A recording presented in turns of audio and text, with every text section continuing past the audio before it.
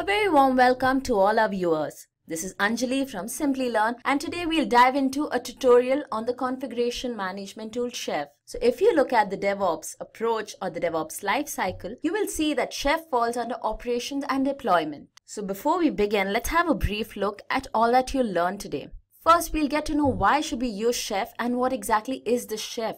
Two of the most common terms used with Chef, configuration management and infrastructure as code. We'll have a brief look at these. We'll also have a look at the components of Chef and the Chef architecture, quickly go through the various flavors of Chef, and finally we'll wrap it up with a demo, a demo on the installation of Apache on our nodes.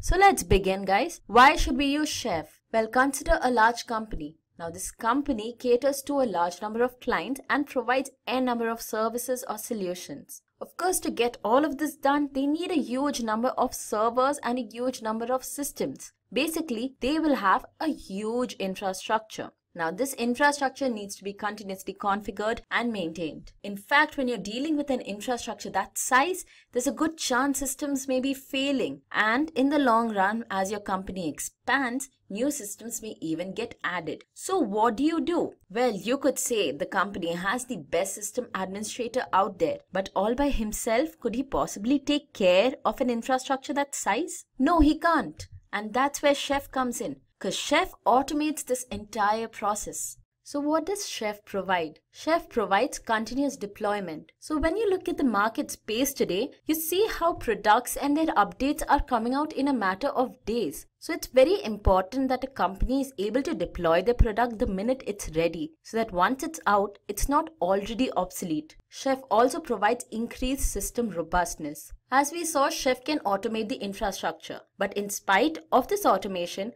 there's a good possibility that errors do creep in. Chef can detect all these bugs and remove them before deploying them into the real environment. Not only this, Chef also adapts to the cloud. We all know how today the services, tools, solutions, everything's revolving around the cloud. So Chef does really play along by making itself easily integratable with the cloud platform. So now that you know why to use Chef, let's look at what exactly is Chef. Chef is an open source tool developed by Opscode. Of course, there are paid versions of Chef, such as Chef Enterprise, but other than that, most of it is freely accessible.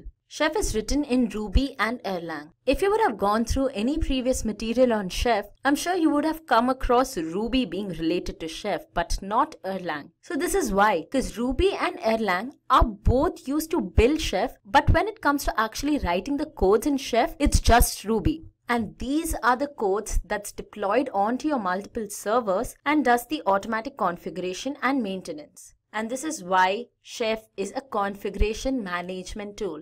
So I've used this term configuration management a couple of times. What exactly does this mean? Let's start with the definition of configuration management. Configuration management is a collection of engineering practices that provides a systematic way to manage entities for efficient deployment. So let's break this down. Configuration management basically is a collection of practices. And what are these practices for? These practices are for managing your entities, the entities which are required for efficient deployment. So what are these entities that you need for efficient deployment? They are code, infrastructure, and people. Code is basically the code the system administrators write for configuring your various systems. Infrastructure is the collection of your systems and your servers. And then finally, you have the teams that take care of this infrastructure. So codes need to be updated whenever your infrastructure needs a new configuration or some sort of updation in the operating system or the software versions. Your code needs to be updated at first. And as the requirements of the company change, the infrastructure's configuration needs to change. And finally, of course, the people need coordination. So if you have a team of system administrators and say person A makes some change to the code, person B, C, D and so on need to be well aware when the change is made as to why it was made, what was the change made and where exactly this change was made. So there are two types of configuration management. On our left, we have the push configuration. Here the server that holds the files with instructions to configure your nodes pushes these files onto the node. So the complete control lies with the server. On your right side, we have the pull configuration. In case of pull configuration, the nodes poll against the server to first check if there's any change in the configurations required. If there is, the nodes themselves pull these configuration files. Chef follows pull configuration and how it does this we'll see further in our video. Another important term often used with Chef, infrastructure as code. So let's understand what this term infrastructure as code means through this small story.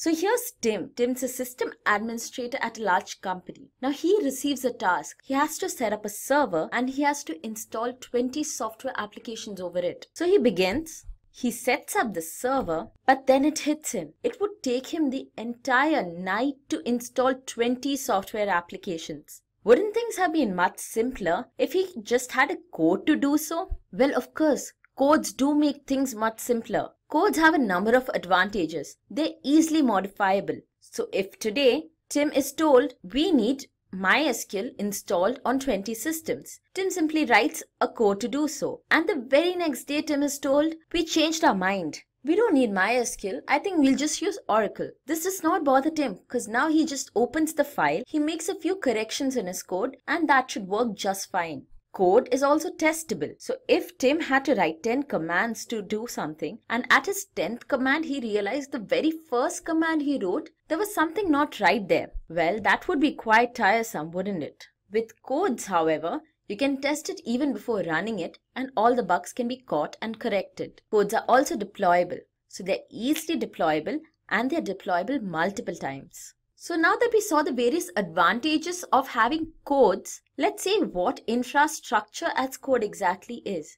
Here's the definition. Infrastructure as code is a type of IT infrastructure where the operation team manages the code rather than a manual procedure. So infrastructure as a code allows the operations team to take care of a code which automatically performs various procedures rather than having to manually do those procedures. So with this feature, all your policies and your configurations are written as code. Let's now look at the various components of Chef. So our first component is the workstation. The workstation is the system where the system administrator sits. He or she creates the codes for configuring your nodes. Now these codes, which in case of Chef are written in Ruby, are called the recipes. And you'll have multiple number of recipes. So a collection of recipes is called a cookbook. Now these cookbooks are only created at the workstation, but they need to be stored at the server. So the knife is a command line tool so it's basically a command that you will see us executing in one of our demos that shifts these cookbooks from the workstation over to the server. A second component is the server. So server is like the middleman. It lies between your workstation and your nodes. And this is where all your cookbooks are stored. Because as you saw previously, the knife sends these cookbooks over from the workstation to the server. The server can be hosted locally that's on your workstation itself or it can be remote. So you can have your server at a different location. You can even have it on the cloud platform.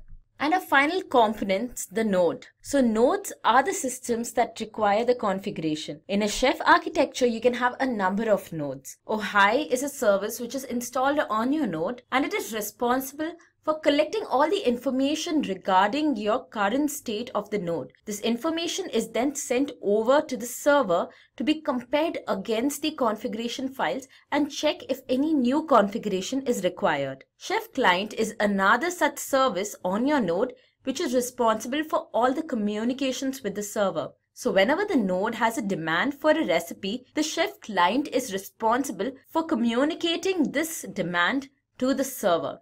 Since you have a number of nodes in a chef architecture, it's not necessary that each node is identical. So of course, every node can have a different configuration. Let's now have a look at the chef architecture. So here we have a workstation, one server machine and two nodes. You can have any number of nodes. First things first, the system administrator must create a recipe. So the recipes that are mentioned in our chef architecture are just dummy recipes. We'll look into actual functioning recipes later in our demo. So you have one recipe, two recipes, three recipes and a collection of recipes forms a cookbook. So guys, if you look at the recipe, in source you have simply learn 3.erb. ERB is the extension for your Ruby files. So the cookbooks are only created at the workstation they now need to be sent over to the server where they are stored. And this is the task of the knife. Knife is a command line tool which is responsible for transferring all your cookbooks onto the server from the workstation. Here's the command for running your knife. Knife upload simply-db, where simply-db is the name of the cookbook. We then move on to our node machines. At our nodes, we run the Ohai service. The Ohai service will collect all information regarding the current state of your nodes and send it over to the chef client. When you run the chef client, these informations are sent over to the server and they are tested against the cookbooks. So if there is any discrepancy between the current state of your nodes and the cookbook,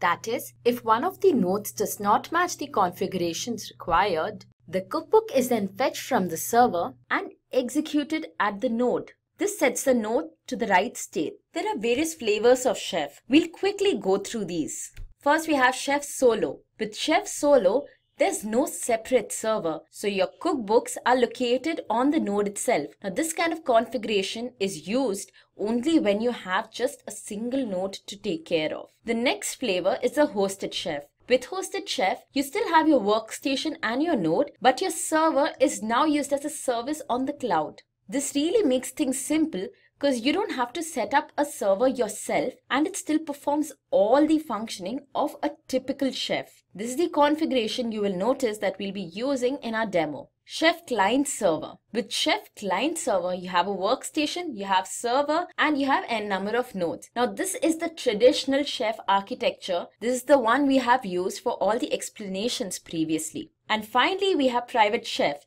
Private Chef is also known as Enterprise Chef. In this case, your workstation, server, and node all are located within the enterprise infrastructure. This is the main difference between Chef client server and private Chef. In case of Chef client server, all these three machines could be dispersed.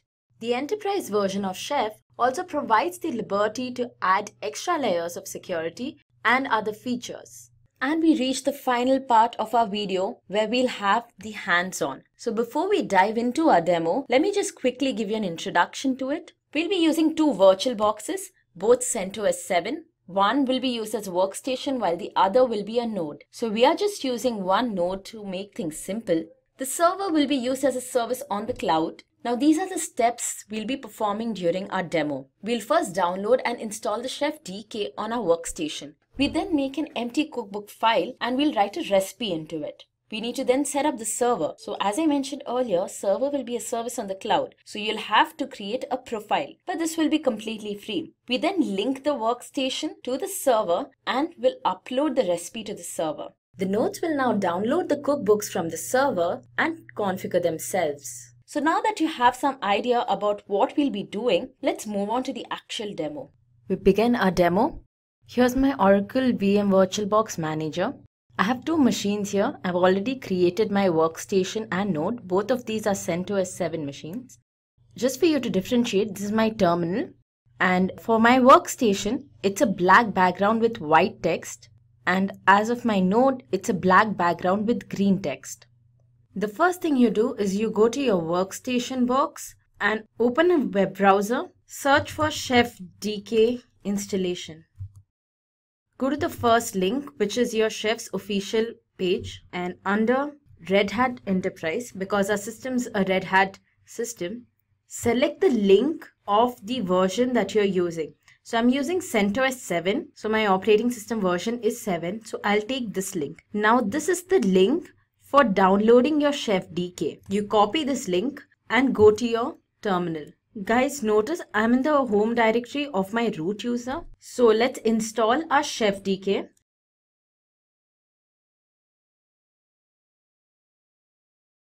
And it's getting installed. Now this will take some time because it's quite a large file.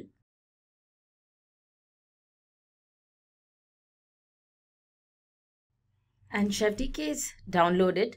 Next step, we need to install it. And this is the version of the Chef DK that we have downloaded. So type the same.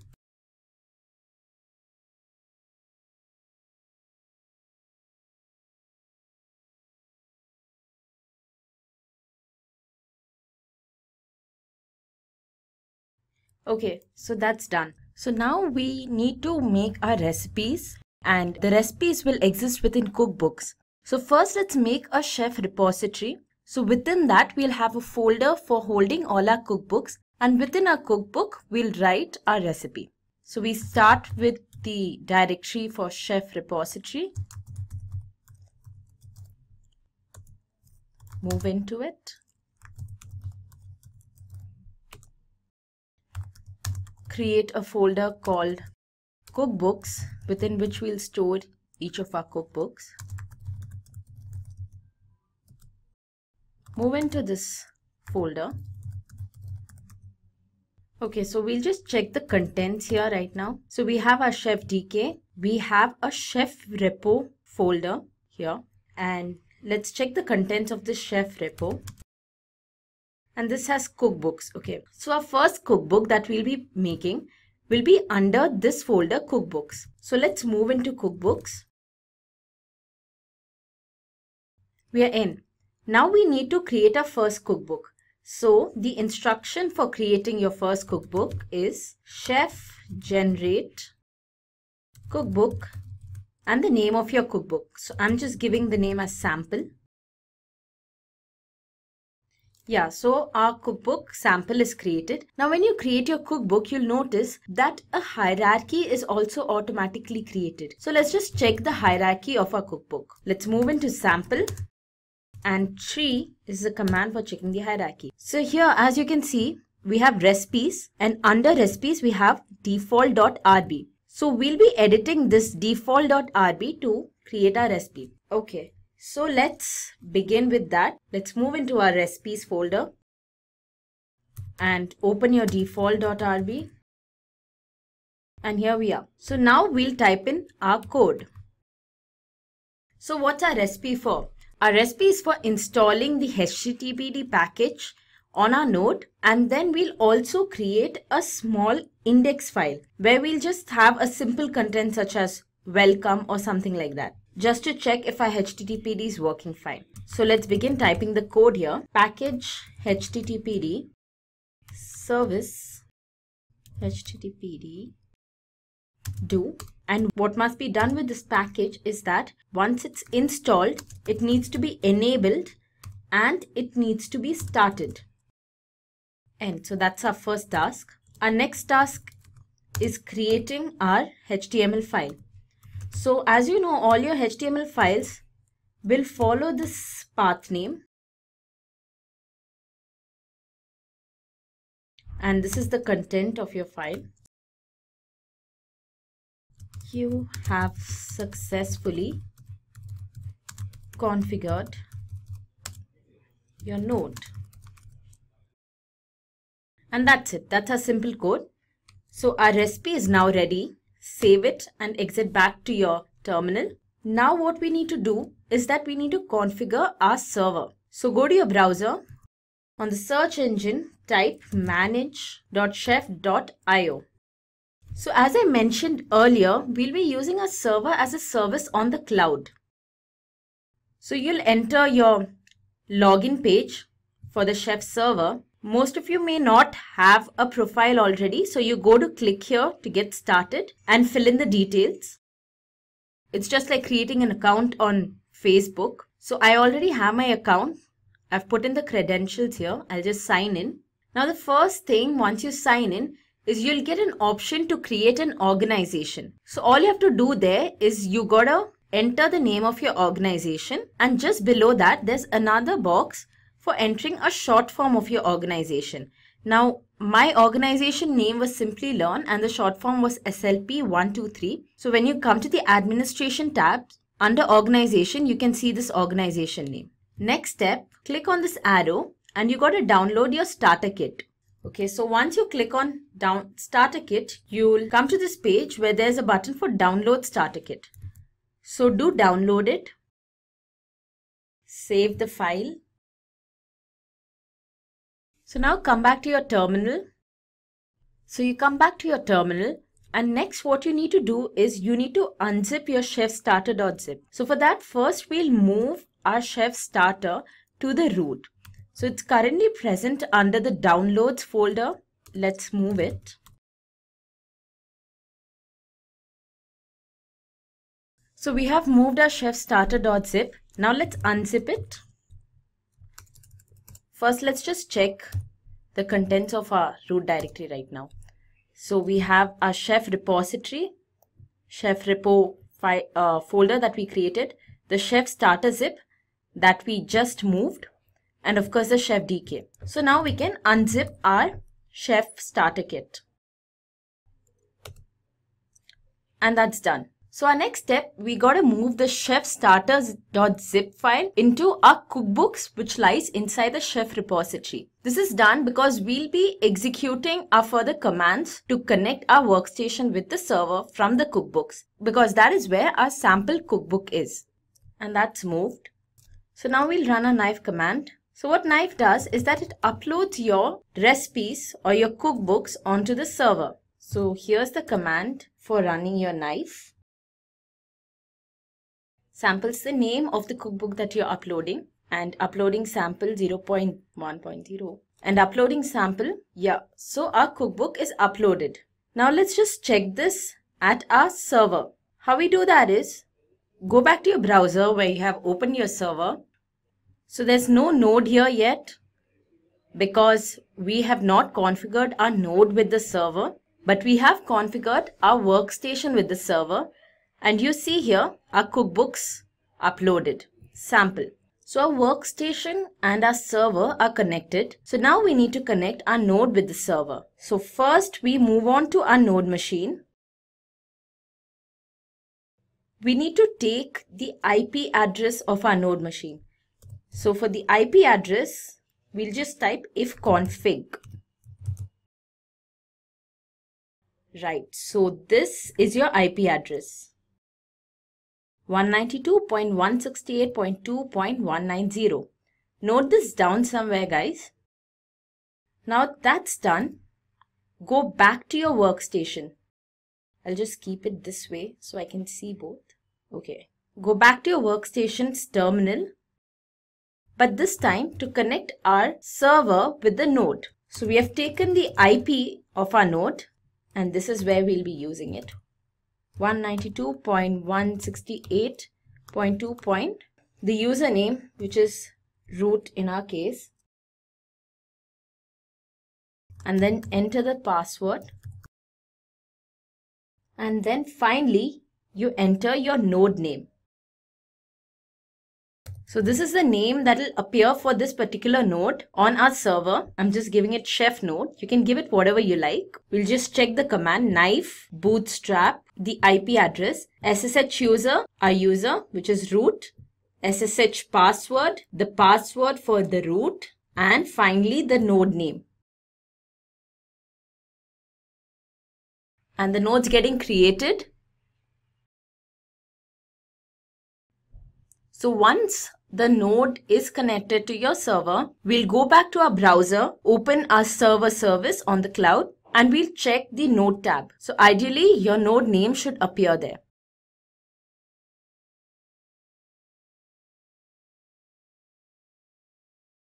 Great. So our node is added. Also, if you notice here, our chef client service on the node has started running. So let's just check this with the server. Go to your nodes. And here we go. So Chef node, a CentOS 7 platform. This is our IP. So it's all done. So now we need to add a cookbook to the run list of this node. So come here, click on this arrow, edit run list. Here's sample. This is the cookbook that we want to run on our node. Put on the current run list. And here we have the run button. Just click on that. So this should have transferred our cookbook onto the node. Let's check that. Go to your node machine. Clear this. We need to be the root. Let's run the chef client service. So we are running it once again because after it was started, we did add something to our run list. The changes in the run list is updated.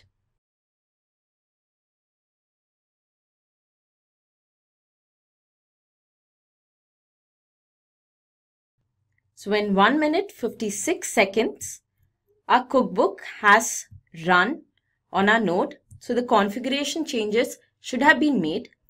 Let's check that. It's pretty simple. Just go to your browser.